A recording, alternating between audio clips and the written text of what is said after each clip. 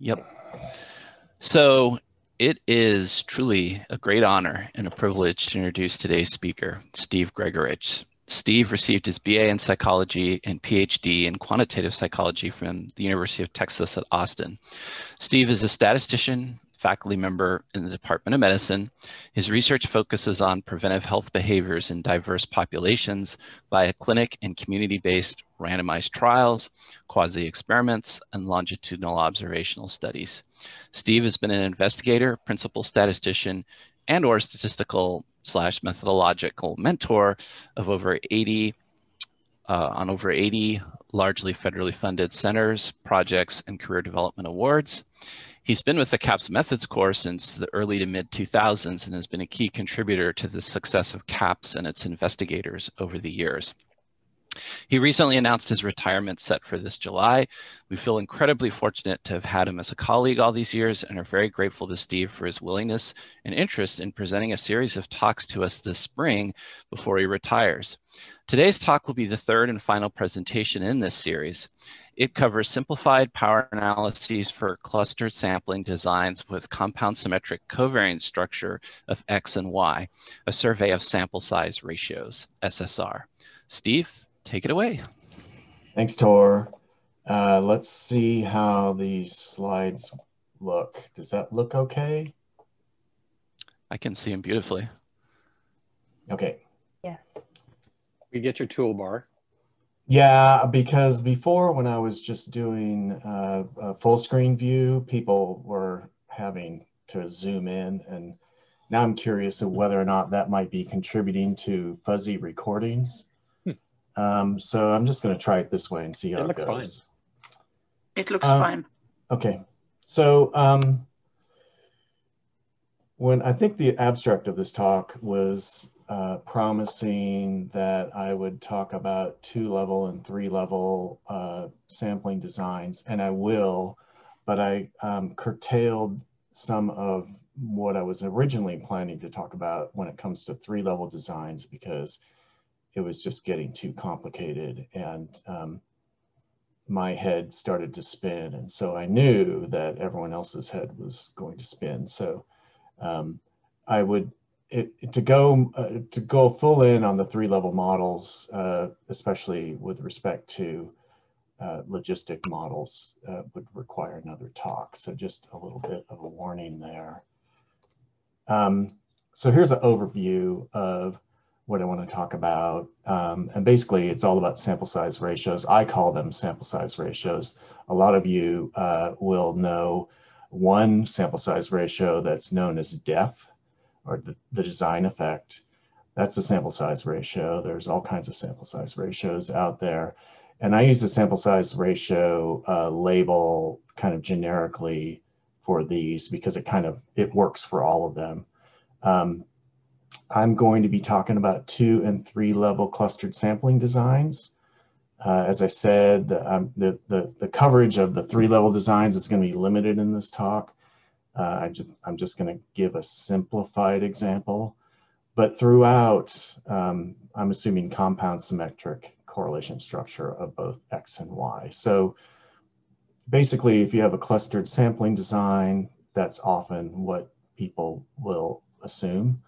Uh, or if you have, say, a repeated measures design with only two assessment times, then you have compound symmetry of the correlation between the repeated measures. If you start having more than two repeated measures, then you might start thinking about autoregressive or other banded uh, correlation structures uh, among your repeated assessments such that the uh, assessments that are closer together in time uh, might expected to be more highly correlated than those uh, assessments that are more distal. But this is all about compound symmetry. And I'm going to talk about uh, three regression modeling frameworks. Uh, GLMM, uh, generalized linear mixed models, GEE, and survey sampling. And it turns out that GLMM and GEE uh, will make use of the same sample size ratios, but survey sampling has a different uh, sample size ratio. Um, so sample size ratios go by a lot of names, design effects, misspecification effects, variance inflation or deflation factors. Um, and I chose SSR eventually because it works in all contexts. Like a design effect is basically assuming that you're choosing between two different designs. Like, will I have a simple random sample or will I have a multi-stage clustered sample?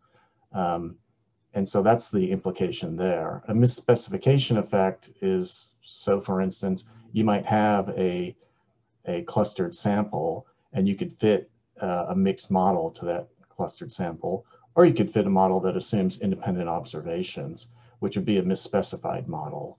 And then you can start talking about, you know, what's the effect of fitting the misspecified model versus the correctly specified model. Um, and so it gets a little awkward um, trying to defend these labels. So sample size label or sample size ratio just works uh, for everything. And this is what I want to do in the first couple of slides is a semi-formal introduction to sample size ratio. So if you assume a simple random sample of n observations and drawn from a population with a mean and a variance, and you can choose a usual estimator for u hat or the mean. Um, so that's that's this.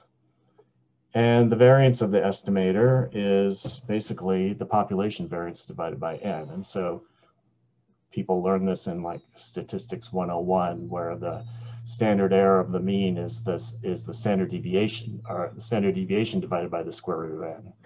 Um, and so this is just the variance version of that. And you can say the precision of the estimator is the inverse of that of this uh, quantity.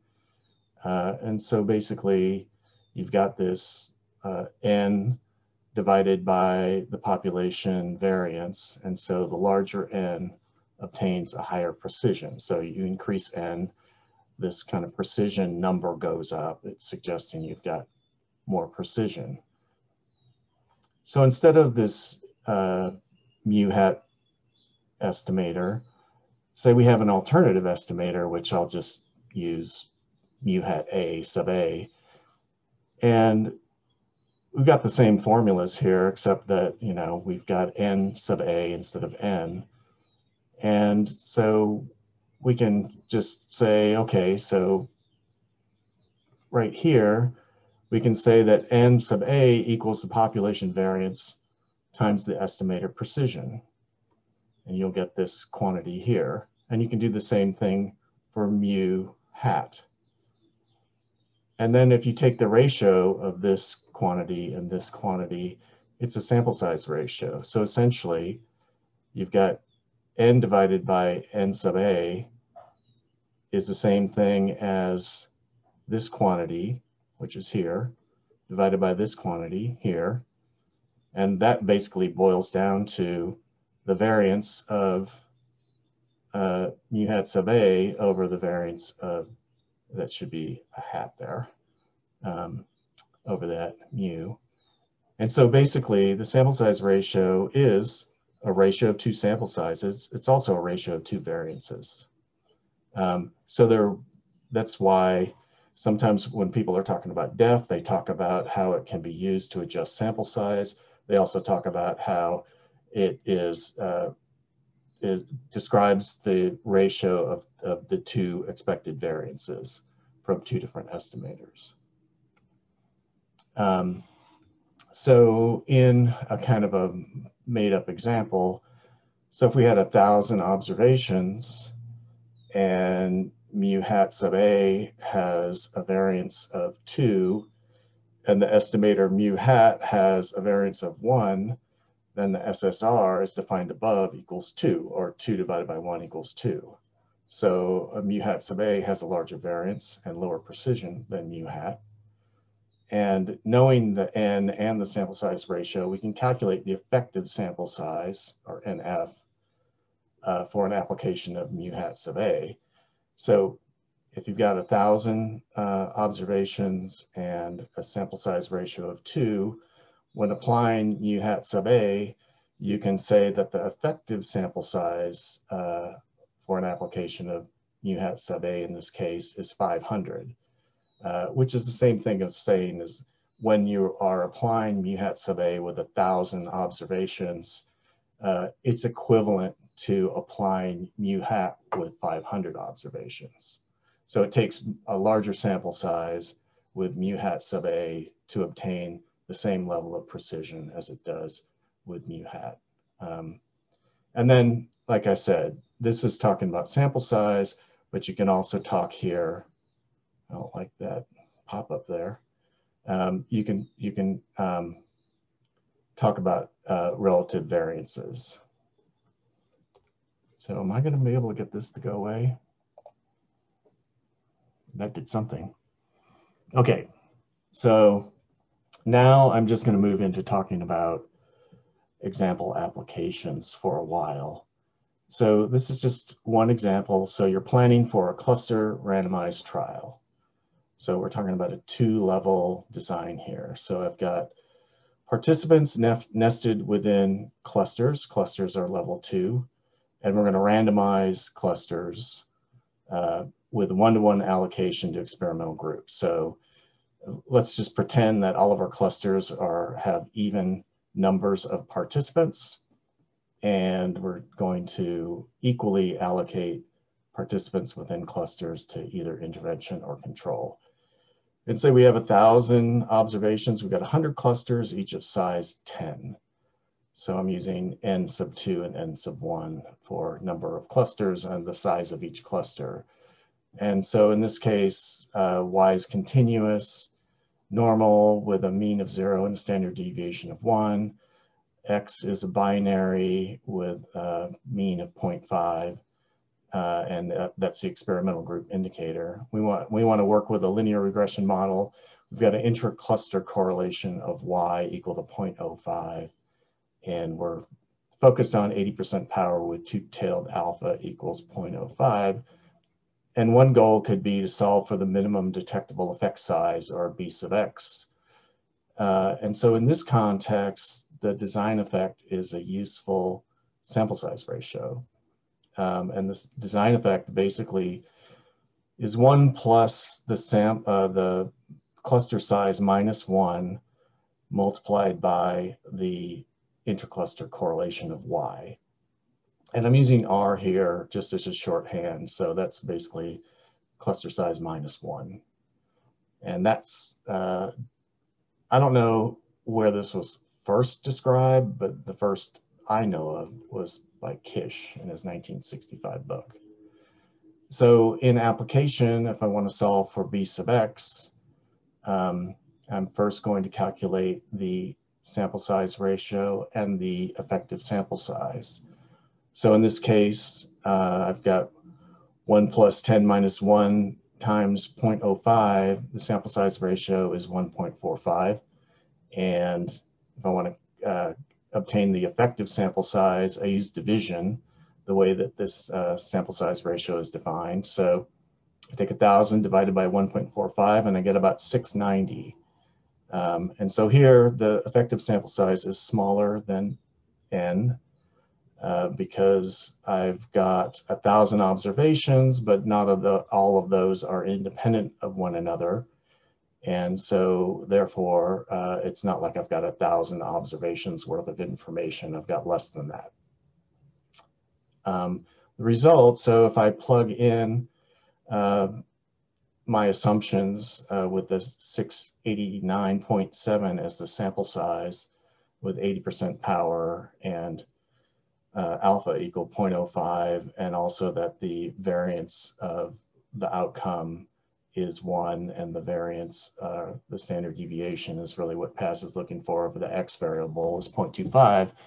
Uh, PASS will tell me in its linear regression routine that the minimum detectable uh, effect size is 0.212. Um, and so basically what this is telling me is that if I fit uh, GLM, uh, a GLMM, GEE, or in this case, a, a survey sampling uh, related model to a thousand cluster observations, it's going to obtain the same power as a plain linear regression model, all else being equal, fit to about 690 independent observations. And I think probably everyone is pretty familiar with that kind of uh, calculation. Um, and that's why I started with it. But we could go in the reverse direction. We could, if we started out with effect size, maybe you have an effect size that you want to be able to power for, and you know what your cluster size is, then you can calculate what the total sample size needs to be and how many clusters you need. Um, so I could start with the our estimated effect size and assuming independent observations, I could just plug that into PASS and have PASS uh, solve for the sample size I need. Uh, and PASS would report 690.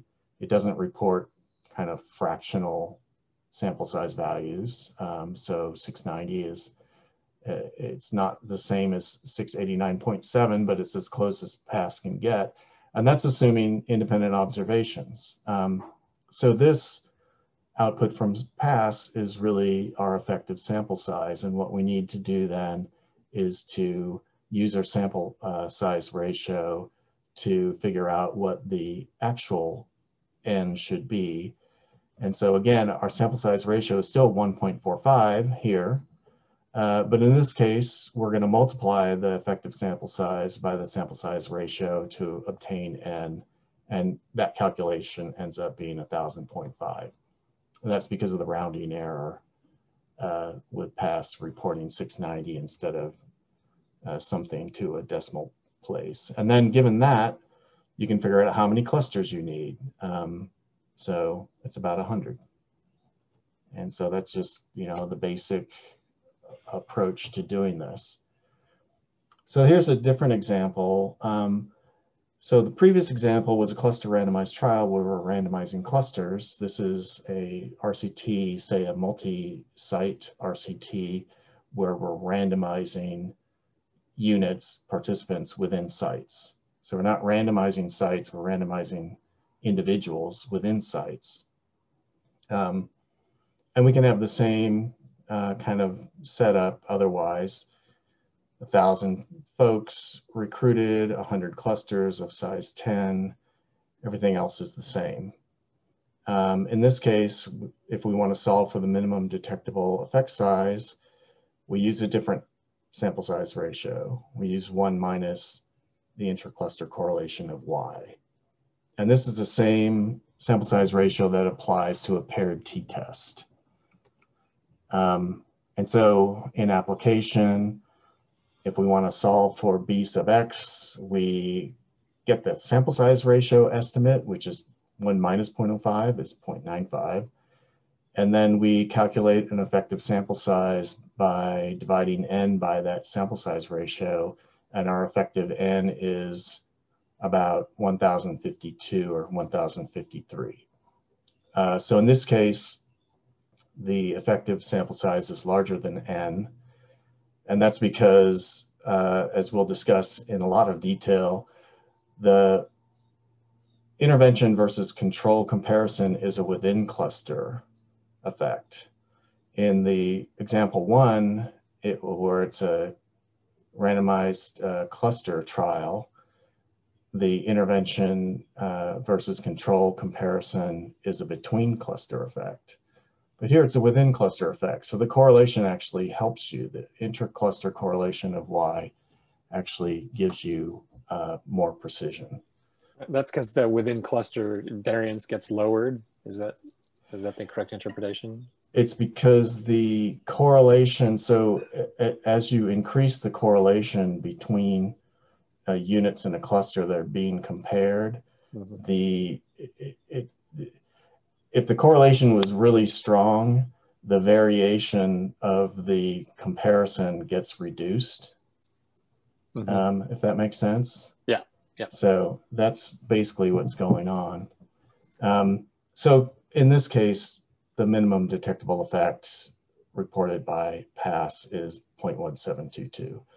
So the, the idea here is that, you know, you fit uh, some kind of a GEE, say, model to a thousand clustered observations, you're going to obtain the same power the same precision as a plain vanilla model fit to 1,053 independent observations. Um, so, so, so far we've discussed two sample size ratios, the def uh, and the one minus uh, rho y.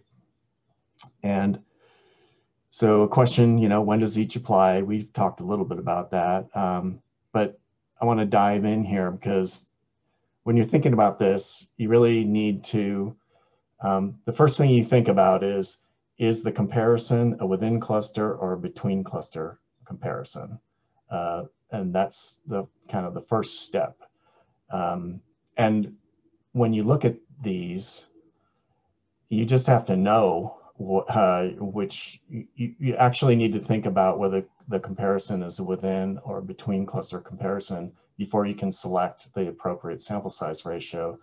Uh, because the sample, these sample size ratios themselves don't even, they, they assume that you've uh, already have that information and made the correct decision. It's not part of the calculation here.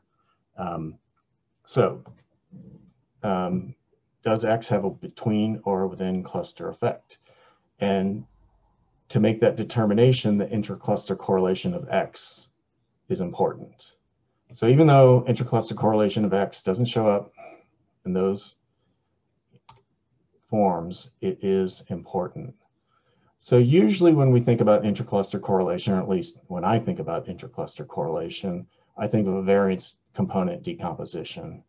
So if I'm going to think about the intercluster correlation, say of, of Y, um, I often think about, you know, it's, it's a calculation that takes the between cluster variation in the variable and divides it by the total variation. So it's the proportion, say, if we're thinking about the intercluster correlation, it's, it's the proportion of total variation that's attributable to between cluster differences. Um, is one way to think about it. Um, and some, like if you go to the Wikipedia ICC page, the intercluster correlation page, they'll, they'll talk about this as the modern approach to calculating intercluster correlation. Um, but it's positively biased. You can't really obtain a negative value with this uh, because it would require a negative variance. And that's not possible. Um, but and and and and you usually don't have a negative um, intercluster correlation of y. It's possible, but it's pretty unlikely. Um, but negative values of intercluster correlation for x are very common, um, often by design.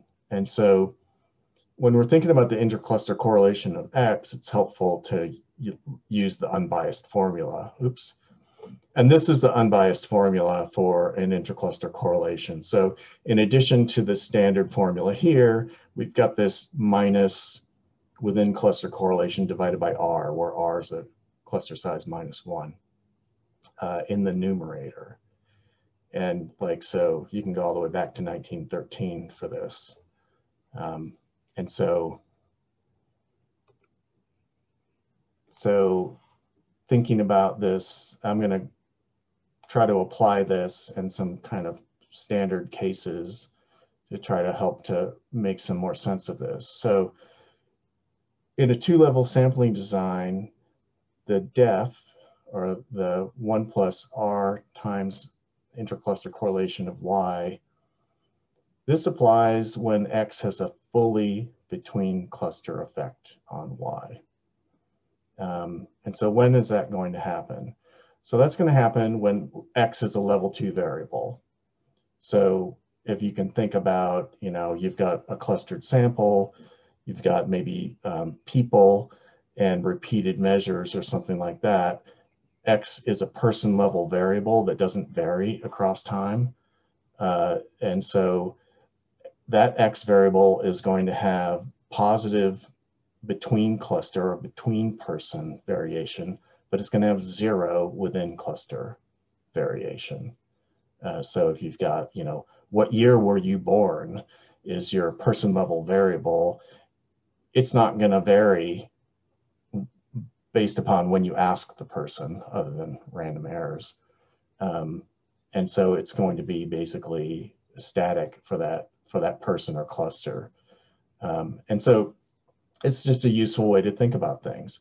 Does the variable, the X variable, does it vary across clusters? Does it vary within clusters? Uh, if it varies between clusters but doesn't vary at all uh, within clusters, then the intercluster correlation of X equals one.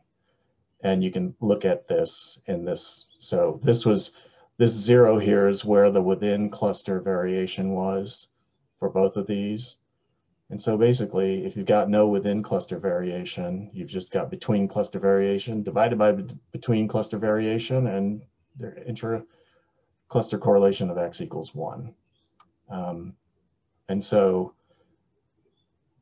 having a fully between cluster effect and having uh, and, and the x, the corresponding x variable having an intra-cluster correlation of one are synonymous with each other. And so I just label this as SSRB, sub B, where the B stands for between. So def is SSRB. Um, so here is uh, some kind of basic implications. Uh, so SSRB for a fully between cluster effect, that is when the, the intercluster correlation of X equals one if the intercluster correlation of y equals zero, then basically this term just zeroes out and your, your sample size ratio equals one and your effective sample size equals your actual sample size. For intercluster correlation of y that is greater than zero, uh, this term will be greater than one and I mean, will be greater than zero, excuse me, and your sample size ratio will be greater than one, and your effective sample size is going to be less than your actual sample size. Um, and again, uh, because rho y being less than zero is rare, I'm not going to consider it in this talk. So here's um, the other sample size ratio we've discussed so far. So um, this applies when the intra-cluster correlation of X is at its minimum. Um, and that is synonymous with the X variable having a fully within cluster effect on Y. So for X to have a fully within cluster effect on Y, it means that it's going to have, that X variable is going to have zero between cluster variation. So every cluster is going to have the same mean value of X is what that means. And then, but there's going to be positive within cluster variation. So, so if you've got people and say repeated measures um, or re uh, repeated assessment times, uh, there's variation in those assessment times within the person, but the average assessment time value doesn't vary at all across people. Um, uh, in, in this case, you're talking about something like baseline six months, 12 months at the planning stage so that there is absolutely no variation across uh, respondents in terms of their average assessment time. And so when that happens, uh, again, here's our formula. The between cluster variation is zero. And uh, so then what you end up with is within cluster var negative within cluster variation divided by cluster size minus one over within cluster variation. That reduces to negative one over R. So when you have a fully within cluster effect, that means that your X variable has an intercluster correlation that is at its minimum possible value and that is always going to be negative one divided by R. So if you have uh, two, say you have a, you know, baseline and six months, and those are your two assessment times, and that's your level one, uh, you know, you've got people and repeated assessments uh, within people, then your minimum uh, value for the intercluster correlation of X is going to be negative one. Um, but as cluster size increases, the minimum value, uh, the minimum intra-cluster correlation of X value will become closer to zero.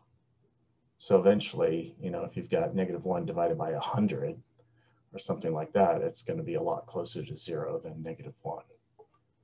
Um, and so oftentimes this minimum value of the X will have a fully within cluster effect or, and, and same thing as saying X, the intercluster correlation of X will take its minimum value.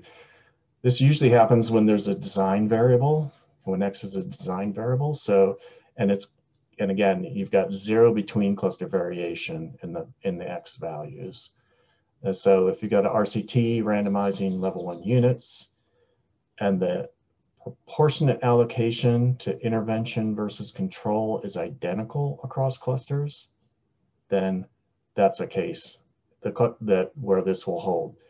Cluster sizes don't need to be the same size, but let's just say each cluster is has an even number and 50% of uh, participants within each cluster are randomized to intervention and the other half to control, then what's going to happen is the mean intervention uh, indicator value is going to be identical across clusters, even though the clusters aren't the same size.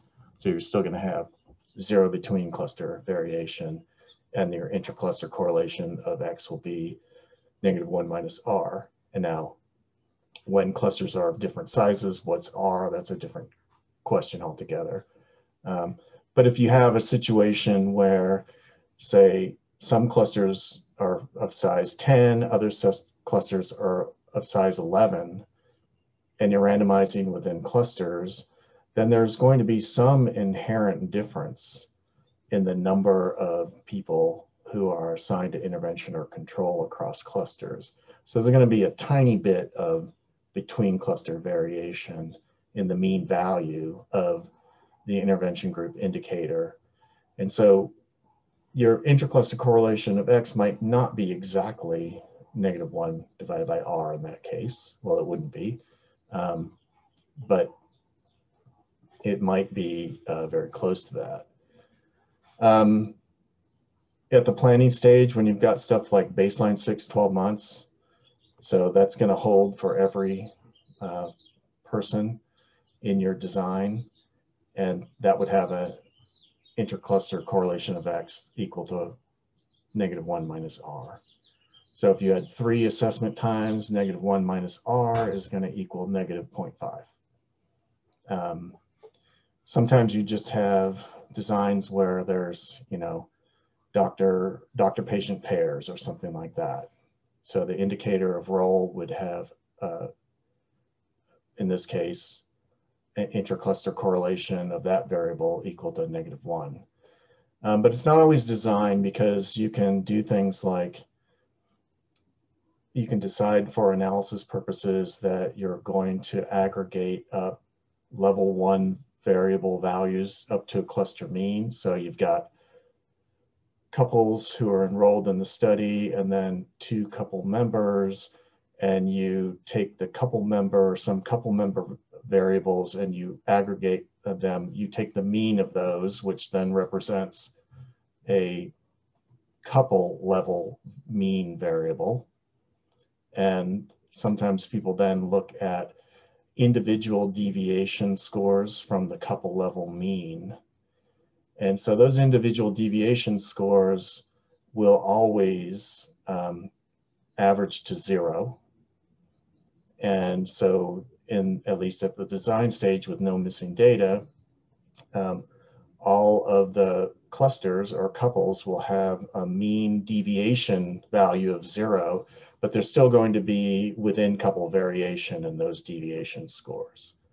So that's a case where it's not a design variable, but by construction, you're creating a situation where the intercluster correlation of those deviation scores is going to take its minimum value. Um, and then and it would, you know, couples with two people, it would be negative one for that.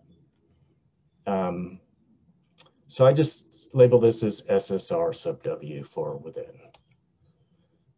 and so basic um, outcomes here, again, if y, if the intercluster correlation of y equals zero, then this just becomes a zero and your sample size ratio is one and the effective sample size is the actual sample size. If the intercluster correlation of y is greater than zero, then your sample size ratio is going to be less than one and your effective sample size will be greater than your true sample size. So I think we've covered everything else here. Um, okay, so, so far we've really talked about two different sample size ratios. Uh, one is for fully between cluster effects, and that's um, oh, this is, yeah, this is backwards. Fully between cluster effects are when within variance is zero and fully within cluster effects are when between variance is zero. So I apologize for that. These, I need to fix those. Um, but, you know, intercluster correlation values of X are not limited to the minimum and one. They can range anywhere between those values. Um, and when that happens, then X can have both within and between cluster effects. Um, so probably if you're looking at like a, a, intercluster correlation of X that's somewhere between the minimum and zero, um, it's probably going to be a design variable.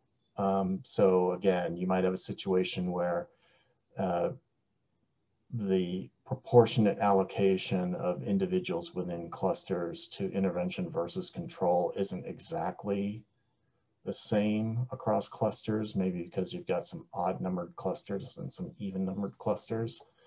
A situation like that might end up with uh, something being in that range. And but you can also have observed random variables. So you you know you've got a clustered sample of neighborhoods and people within neighborhoods and you ask them, what's your income? Um, there's probably going to be some variation between and within clusters on that. And so in that case, you would expect that the intercluster correlation of X income is probably going to be somewhere between zero and one. Um, and so there's a question, if the intercluster correlation of X is between the minimum and one, uh, what sample size ratio should you use? And the answer depends upon your modeling framework.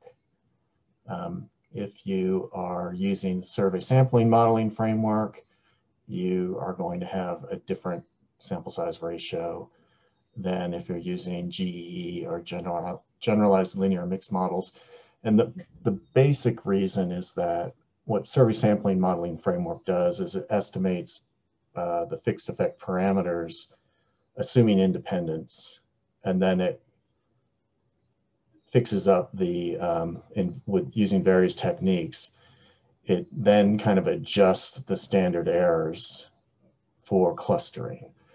Uh, but the standard errors are not really, you know, they're originally, and the parameter estimates, I should say, are estimated under independence. So in contrast, GEE and generalized linear mixed models are aware of the uh, intra-cluster correlation during parameter estimation.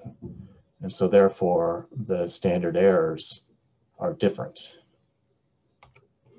Um, so this is just a slide of little side notes. Um, if we look at this formula for intercluster correlation of X, it makes it clear that the intercluster correlation of X will equal zero when there is some positive between cluster variation. So it's it's a little counterintuitive uh, when because we're used to thinking about the, the numerator only having between cluster variation in it. So then you think, well, the intercluster correlation is going to be zero when the between cluster variation is zero. That's not exactly the case. Um, and so it took me a while to um, kind of find this formulation, and I was really glad when I did. I don't know why it took me so long because it's been around, um, but I didn't know about it for a while. And I was always puzzled how you would calculate the intercluster correlation of X when it wasn't at its minimum, but it was below zero. And now I know. Um, and then another thing that I want to emphasize is that in this talk, when uh, the intercluster correlation of X is somewhere between the extreme values, um, I'm assuming that the between and the within cluster effects are equivalent um, just as a shorthand. And so John Neuhaus talks about this uh, in a couple of really nice papers. And so uh, what he's what he's talking about is a way to decompose the uh, time varying uh, effects of time varying x variables into fully between and fully within cluster effects. Um, and then if you find that those uh, two effects of an x variable are equivalent, then you can just kind of ignore making that distinction and go ahead and estimate your model with the original time varying x variable because it means that the, um, the between and within cluster effects are essentially equivalent. Um, and so I'm just going to focus on the circumstance where those effects are essentially equivalent in terms of magnitude. Okay, so moving on. So, so far, um, we've only discussed the SSR between and the SSR within. So this is the SSR for the survey sampling regression modeling framework.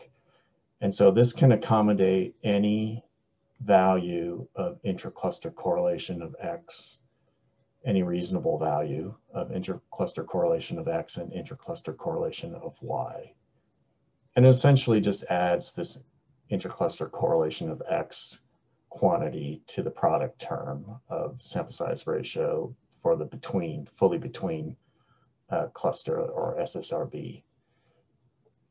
And so it looks like this. And so really basic results, if your uh, intercluster correlation of X equals one, then the result is the same as SSR sub B is that just a one and then you end up with one plus R times intercluster correlation of Y. When the intercluster correlation of X is at its minimum, then SSR SS just reduces to SSR sub W. Um, because that one negative one minus R times R just basically cancels out. And then you end up with one minus intercluster correlation of y. Uh, but if intercluster correlation of x is somewhere in between, then the result of the sample size ratio uh, for the survey sampling framework is going to be somewhere between the, what you would get with SSR sub W and SSR sub B. Um, so if you are working in the survey sampling modeling framework and you have a X variable that doesn't take either it, the minimum or maximum value for its intercluster correlation, then you should be using this sample size ratio instead of either of, you know, either of the previous two. Um, as far as I know, this was first described by Scott and Holt in 1982 and the SSR SS label is mine. So here's some just very basic results. Um, you've got different values of intercluster correlation of X, the maximum, the minimum, and some values in between. This is assuming intercluster correlation of Y is 0.1. And then, so if you've got an intercluster correlation of X, the X effect type is a fully between cluster. If it's at its minimum value, it's a fully within cluster. But if it's somewhere in between, then X potentially has both between and within cluster effects. and then assuming uh, observed sample size of a thousand, these are the various effective sample sizes that you would obtain um, by the standard calculations here. So again, in this case, SSR sub SS and SSR sub B are identical. And same thing here for SSR sub SS and SSR sub W. But in between, you can see there's some different values. Um, so things, you get uh, more precision, precision with decreasing intercluster correlation of X holding the intercluster correlation of Y constant. Um, so probably uh, a lot of people use SSR sub B in this context. And that's assuming that you've got an intercluster correlation of X equal to one. Um, but you can see that you could really underestimate your power if you use SSRB when the intercluster correlation of X is less than one. Uh, so something to, to uh, make sure you're not underestimating your power. Um, I don't think most people probably don't use SSR sub W um, inappropriately. I think probably it's more often the case that SSR sub B gets used inappropriately. Um, but that's just speculation on my part. Okay, here's something that's much more complicated. This is the SSR for uh, either a GEE or a GLMM modeling framework. Um, and this is something I, I, I'm sure that it's it's based it's based upon Basagaña, Liao, and Spiegelman's work. Um, Basagaña did a lot of work uh, working. He was a student of Donna Spiegelman's, and uh, this was his dissertation work. And he wrote a lot of R software and published a lot of really interesting papers um, but they've been, a lot of them have kind of been ignored. Like I looked at this paper, which is the, the paper I used uh, to kind of derive this. I looked on Web of Science, it's been cited four times. And it's really, really important paper that really gets into power analysis for these clustered sampling designs with time varying covariates because most of the work out there either assumes that the intercluster correlation of X is taking its minimum value or its maximum value. And for X variables that are have middling values, uh, there's not much help out there. And this work was really important work that just hasn't been embraced enough yet, in my opinion. Um, but they reported a sample size ratio that assumed compound symmetry um, of x and y versus uh, intercluster correlation of x equals one and but compound symmetry of y. And what I wanted was a something that compared compound symmetry to uh, independence. And so uh, I show in the appendix how I got here from their equation 3.5. And so this form is kind of interesting because it's got SSR sub B and SSR sub W in the numerator, and then it's got this kind of ugly mess down here. Um, this one, though, I like because I can, if my, if my head is in the space of all these calculations, I can remember this one because the numerator and the denominator basically have the same form except for these two values are different. Um, so here's some basic results of this sample size ratio. Uh, again, if the intercluster correlation of x equals one, this boils down to SSR sub b. And if the intercluster correlation of x takes its minimum value, it also boils down to SSR sub W.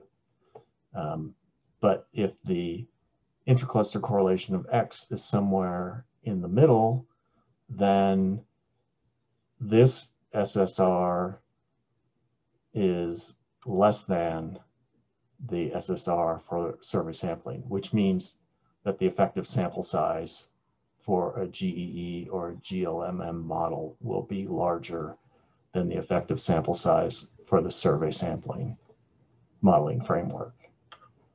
So if you have an X variable with an intercluster correlation that is not at one of the extremes, and you have a choice of modeling framework, you'll do yourself a favor by fitting a GEE or a GLMM model instead of a survey sampling modeling framework model.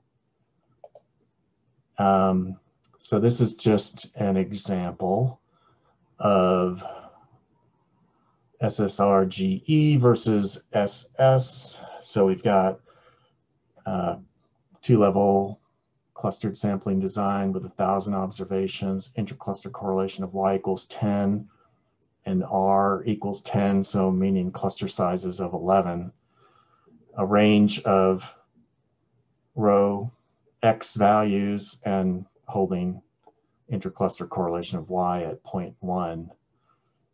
And so this shows the, the, the different effective sample sizes. And again, when intercluster correlation of X takes an extreme value, you get the same result. But in between, you get some differences. And in this case, they're not huge. This is like, you know, a 10% advantage of using a GEE or a GLMM model versus a survey sample model in terms of effective sample size.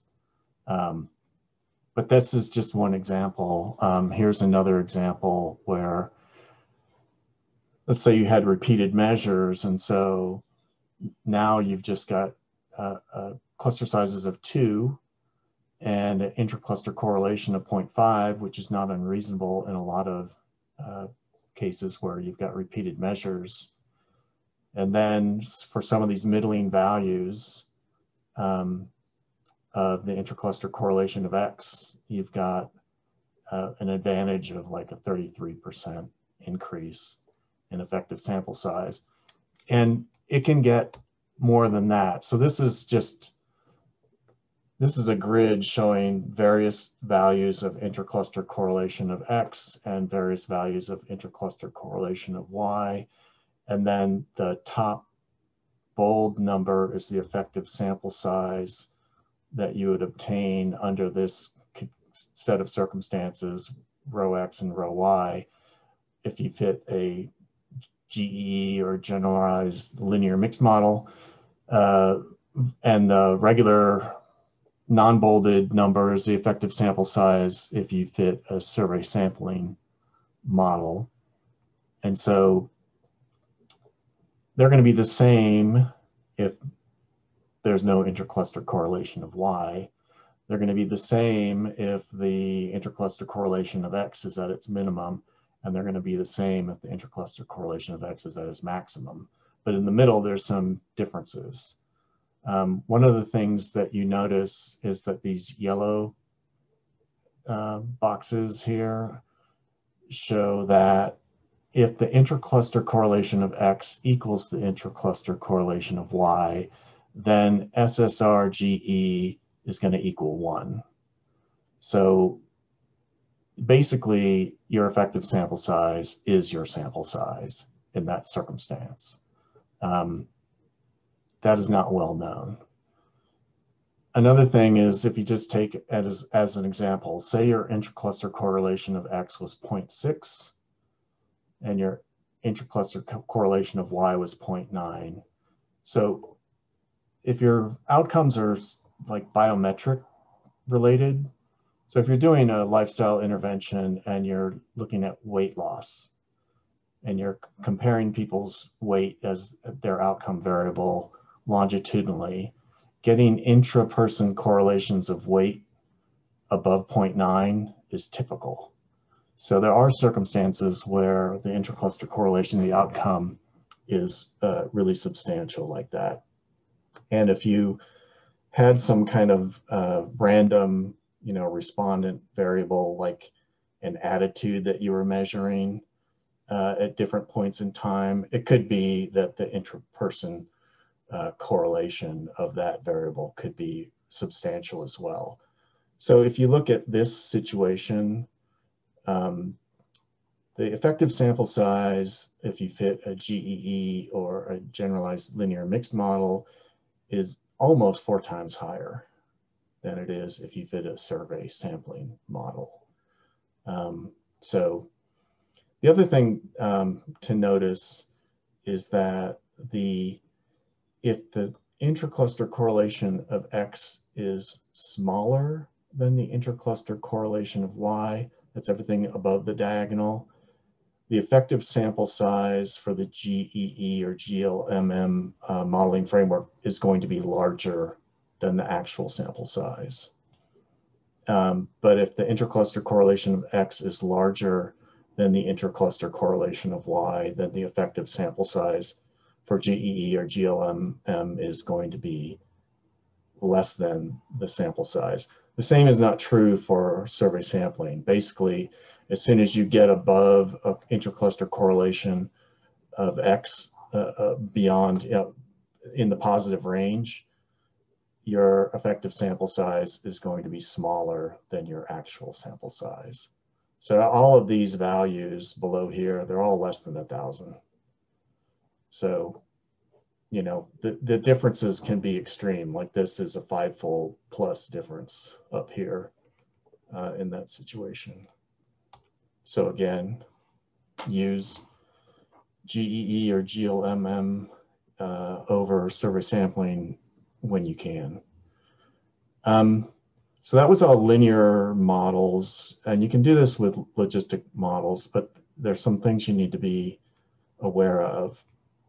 Uh, because all these power calculations are basically using standard routines like PASS uh, for uh, SRS samples as the as a kind of a backbone of the calculation, um, you need to think about population average effect sizes as inputs. Um, and so, or if you're using, you know, if you're just going to use like the percent of uh, folks in intervention with a, a yes on the outcome versus the percent of folks in the control group uh, with a with a yes on the outcome, then those should be population average focused things like observed outcome probabilities. They shouldn't be model predicted outcome probabilities from a mixed model. Um, they can be observed outcome probabilities from a GEE model. Um, or, you know, if you're going to have an effect size estimate, like the log odds um, uh, for an effect uh, size as input, that should be from a GEE model, not from a mixed model, because mixed models are going to give you unit specific estimates of fixed effects, and those are on a different scale than population average. Um, and the way I like to think about it is basically in the in the SRS world, it's it's a population. There is no difference between population average and unit specific, but it's not unit specific.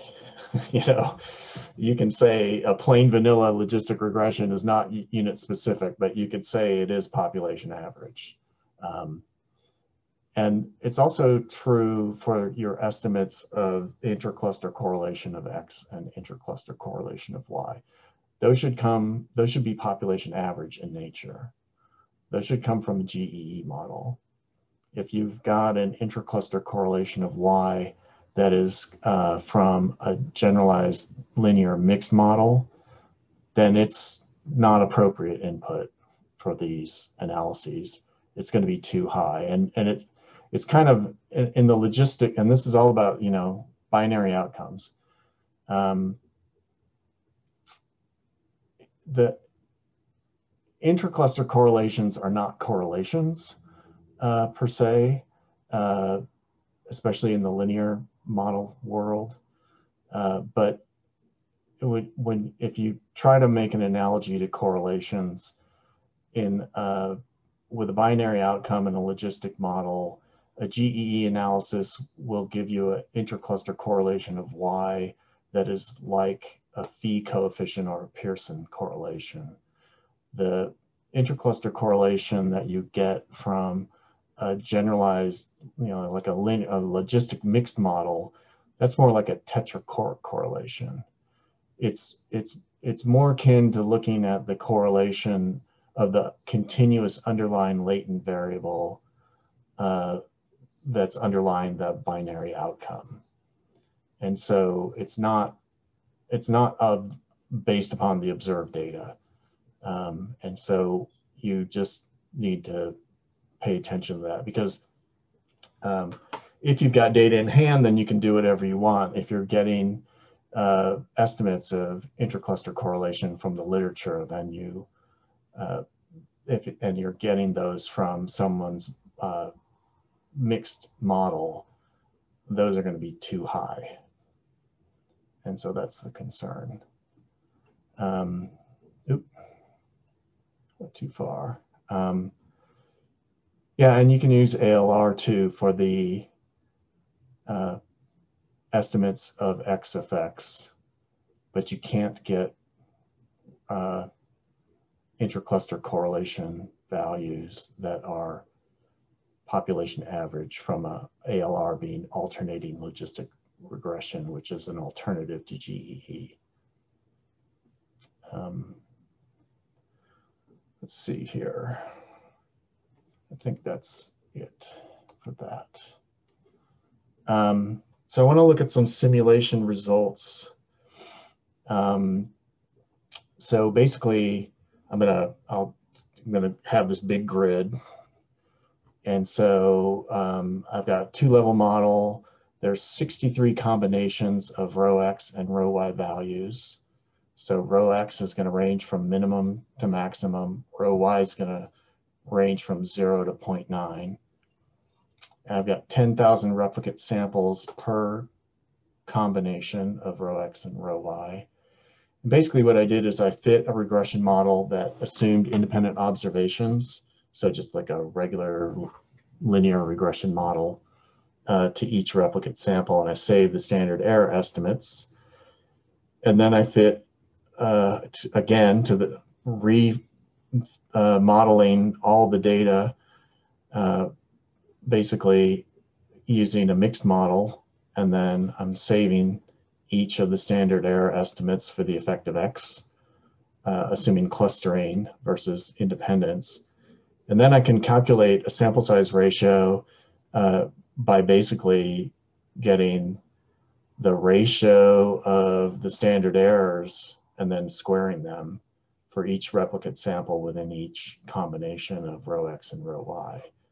So just like, you know, we talked earlier about how a sample size ratio can be thought of as a ratio of two sample sizes or the ratio of two variances. This is basically using the standard errors to obtain a ratio of two variances, assuming clustering or ignoring clustering. And then you can compare the SSR uh, that you obtain from the simulation to the one you calculate with the standard calculation. And so this is using SSR sub GE with small clusters. So these are clusters of size two, R equals one. And I'm fitting a GEE linear regression model. So the simulated sample size ratios are in bold on top in each cell. Uh, and the calculated are what I call expected here um, based upon the formula uh, are below in each cell. And you can see that it performs very well um, regardless of the combination of intercluster correlation of X and Y. So it's really tight. Um, again, um, everything, this is the diagonal where rho x equals rho y, and we have the expectation is that it, the effective, uh, the sample size ratio will be one, so that the effective sample size equals the sample size. And everything above the diagonal is where the intercluster correlation of x is less than the intercluster correlation of y, and that's where the sample size ratio is going to be less than uh, one. And so your effective sample size is going to be greater than the observed sample size, and everything in orange then is where the reverse holds and you start taking a hit on your effective sample size. So that's looking at the GEE linear regression framework. Here's the GLMM linear regression framework where we're still using the same sample size ratio SSR sub GE. Everything else is the same. The data is the same. Uh, it's just a different model and we get the same results. So um, GEE or GLMM, either way, you're going to get the same pattern of efficiency gain or loss depending upon your combination of rho x and rho y. So here's survey sampling using the SSR sub SS. Um, otherwise, the same exact setup, and it also does very well. However, you can see, as we mentioned before, the, the sample size ratio equals one uh, here when either uh, intercluster correlation of y equals zero or the intercluster correlation of x equals zero.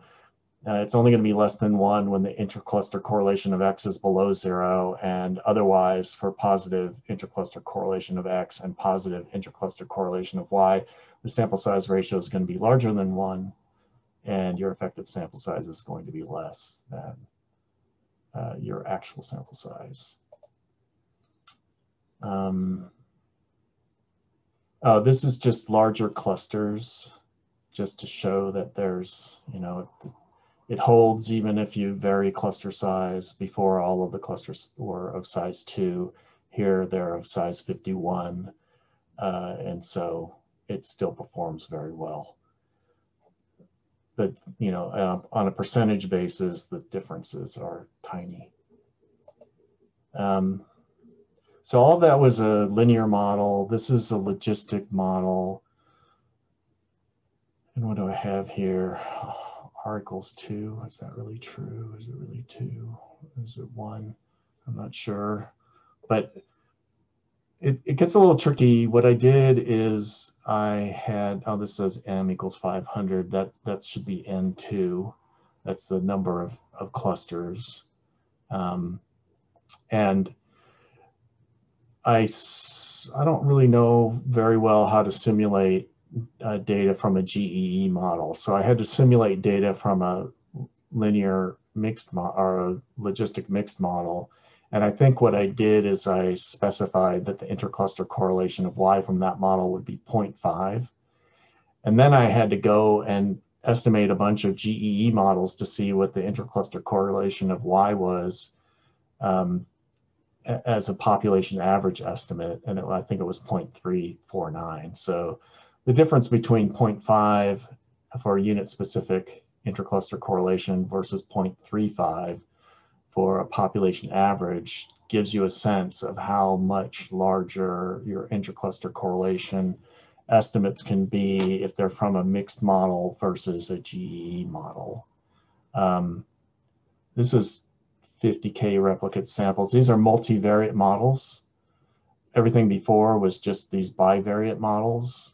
This com this combination was one, that was another combination. This is a multivariate model. So I've got six different X variables with different intercluster correlation values. Um, and so I just fit this model. I've got the expected, um, yeah, I may have may have uh, switched the way I'm labeling things, but the expected here is the calculated sample size ratio, and the simulated is based upon the comparison of uh, standard error estimates from an independence model versus a cluster aware model. Um, and so they're very close. Um, and then this is the um, the expected effective sample size, assuming a sample size, of a, real sample size of a thousand. Um, and then this is power. So I calculated power using PASS with the effective sample size, given the other kinds of, you know, the outcome expectations and things like that. And then the simulated is just the percentage of, or the proportion of, of samples or replicate samples that had um, a, where the effect uh, was less, the P less than 0.05. So they're very close. It's, I find that when you're trying to back calculate power, um, it can be a little bit noisy. So that, I think that's why I went up to 50K replicate samples, but it's pretty close. But you know, these, these also suggest that it's closer than these values uh, suggest things. But that's for survey sampling. This is for GEE. And again, um, in this multivariate model, SSRGE worked very well. And then this is just showing the kind of the relative, relative benefit of the effective sample size of the GEE model versus the survey sample model. So again, here, not nothing profound, uh, but it depends on the circumstances um, of your of your study design. So it works for logistic regression as well. But again, when you're working with PASS, you need population average parameter or, you know, fixed effect parameter estimates if that's an input. Uh, and you need uh, population average estimate of the intercluster correlation. Okay, where are we? It's already 1217. Okay. I will try to do this. Um, I didn't realize I was so far behind. The, the three-level clustered sampling design, I decided to simplify this. Um, the idea is that it's a multi-site RCT. We've got sites as the top level clusters. We've got people within sites who are the units of randomization, and we've got repeated assessments within people. Um, it is the simplified design because I'm going to assume that the any site level variable, well, by definition, it can only have between site effects. So it has a fully between site effect, X3. X2 is a person level variable, and we're going to assume that the intercluster correlation of X is taking its minimum. And also for repeated assessments, we're going to assume that the intercluster correlation is taking its minimum value. Um, so this is just trying to simplify things in that way to keep your and my head from spinning. Um, in three level models, there are often three different ways that people, well, two different ways um, that people talk about intercluster correlation. So people also often talk about intercluster correlation within level three. Um, I need to fix my notation here. Um, and so that's just the proportion of variance attributable to sites in this case. So you've got your, your between site variance and your total variance. And then when people talk about intercluster correlation at level two, sometimes what people are reporting is the intercluster correlation at level two and three.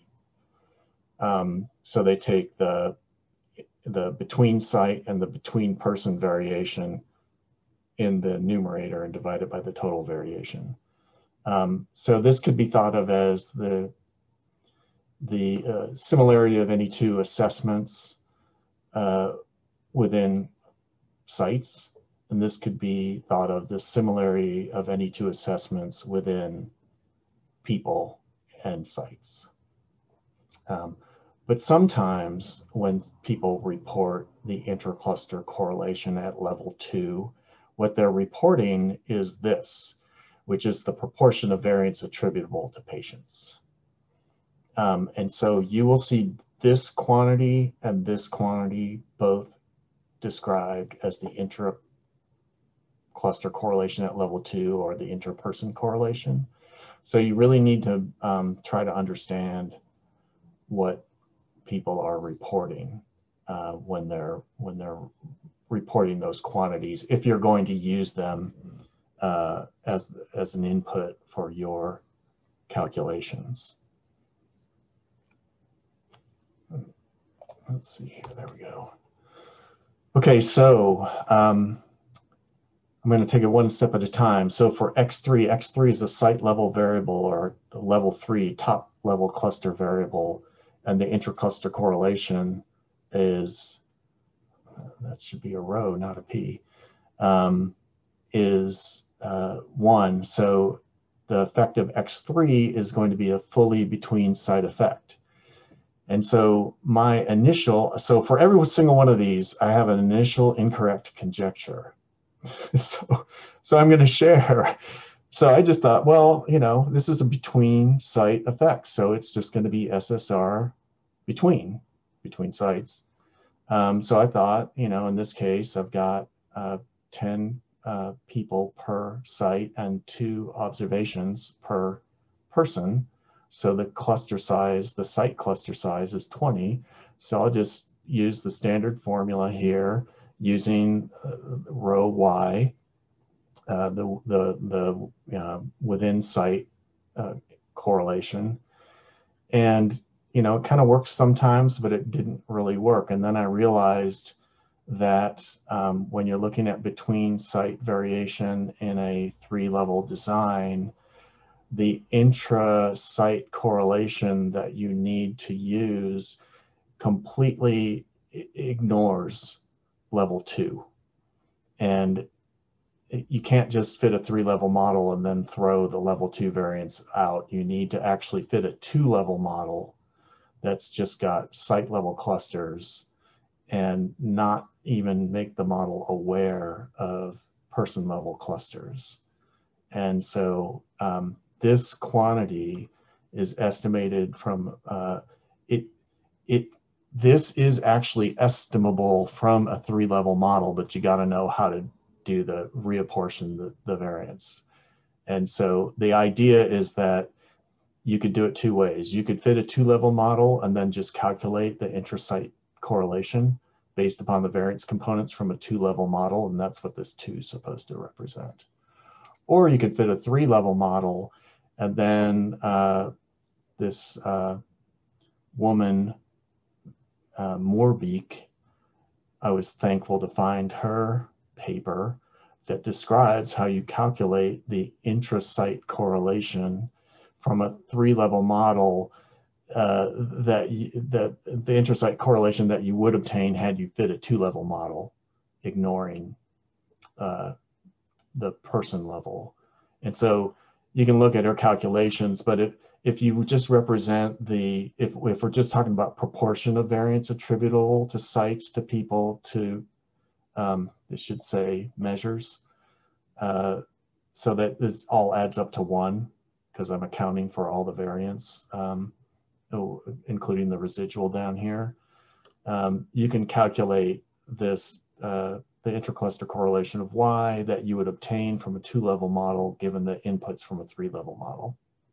And so uh, this is the calculation. And instead of 0.05, I get 0.055263 in this case.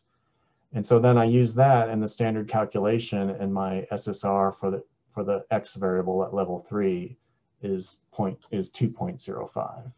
So I needed to modify my intercluster correlation of Y in this case.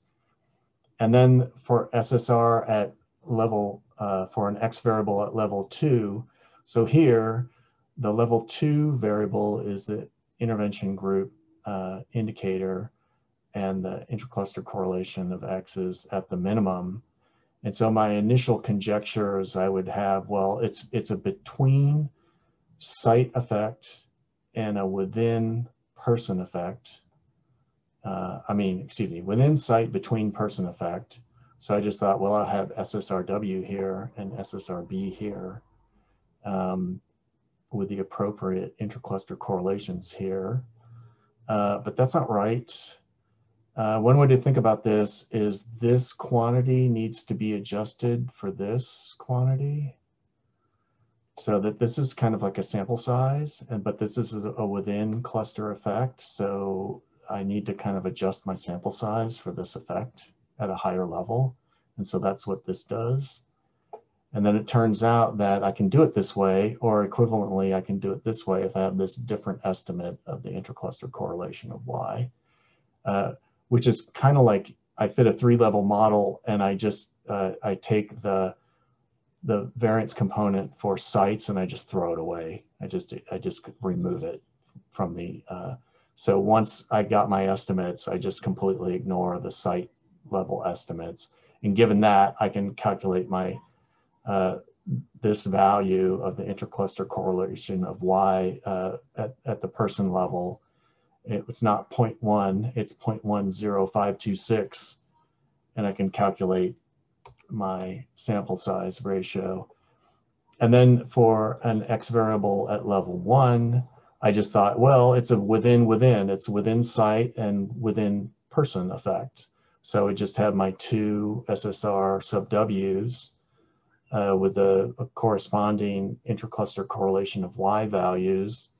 Uh, but that's not quite right because I need to use that same modified uh, intercluster correlation of Y at the person level that I did in the previous uh, slide. And so uh, when I do that, um, I get this sample size ratio of 0.85. And so this is um, the kind of simulation results. Uh, so I've got this level three X variable with an intercluster correlation of X of one, and then I've got these two other variables at level two and level one with the minimum uh, intercluster correlation of X values. So this X3 is a between site effect, X2 is a within site between person effect, and X1 has a within site within person effect. Um, and these are the intercluster, or these are the proportion of variance accounted for for each of those levels in the outcome.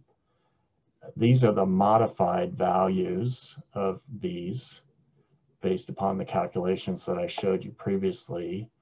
These are the um, sample size ratios that I, uh, the G, the SSR GE sample size ratios that I um, presented on the previous slides. And these are the simulated ones. Uh, so again, the correspondence is, is really good. And this just shows the calculations uh, for these right here.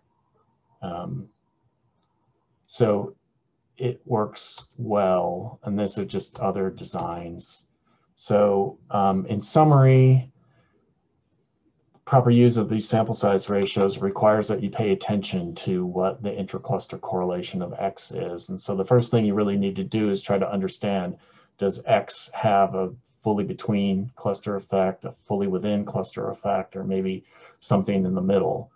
Um, SSRB is, is probably the best known of all of these and therefore I worry about it being over applied, especially because if you apply it inappropriately, you're going to substantially underestimate your power or you're going to substantially overestimate your sample size requirements. Um, and so beware of that. Um, and again, when you have a choice and the intercluster correlation of X is somewhere between the extremes, you should be fitting a GEE or GLMM model instead of survey sampling. Um, again, this is all about compound symmetric correlation structure of X and Y. Um, and for three level logistic models, that's going to retire. That's that's going to require a future talk for sure.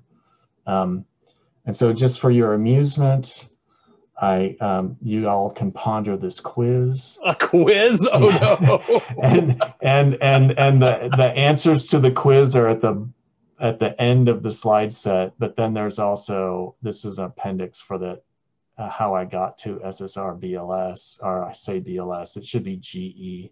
Oh no, sorry. This is what um, Basagaña reported in his paper, and then this is how I got to SSR GE from that. Um, and these are some basic results of SSR GE. But um, yeah, just to just to practice if you're interested. Anyway, sorry I went long. I thought I was uh, only going to take an hour to do this and give us some time for questions. This is complicated. Yeah, I know. I kind of felt bad about saying simplified uh, in the title. Well, Uh, th- thank God it is the simplified version. Right. Did, yeah, when did you start- think about publishing, Steve? Yeah, well, I thought about it, but um, You should. yeah, it's uh, uh, you know, uh, one of those I- I- things. Uh, I wouldn't. Yeah, in in your retirement in your retirement years. But no, I think uh, I, I think it would be a benefit to to people. And I was actually pleased to learn. It's like, oh, okay, I didn't pay attention to that, but at least the you know the sample size was overestimated. So a, a waste of resources is worse than oh my god, I gave a consult and underpowered somebody's study. right, right, right. Yeah, I mean, it's kind of you know, you don't want to do either one though, unfortunately, because Mm. the the the ethical consideration comes in if you Right. kind of over recruit. Um, so it's probably better for a low risk study to over recruit than to under recruit, but even so, it's consideration. Well, and, and I always try and tell people, you know, with cluster randomized study, it, you know, things happen in the real world where it's quite possible you can lose one or two clusters. And so I always try and, you oh, know, Oh, yeah. ad- advise people to, okay, well, this is the number, you know, this is the, the cluster size for your clinic. And this, okay, this is the number of clinicians you need. But I would like add two more because bad things like seem to routinely happen. Yeah, I mean, you know, power analysis is a lot of hand waving and pulling stuff out of Wow. the sky. So uh, all of your assumptions could be really off in either direction. But well, maybe not of recruitment. It's not going to be off in the recruitment direction. You're not going to have like, oh, I, gee, I found these extra 10,000 participants.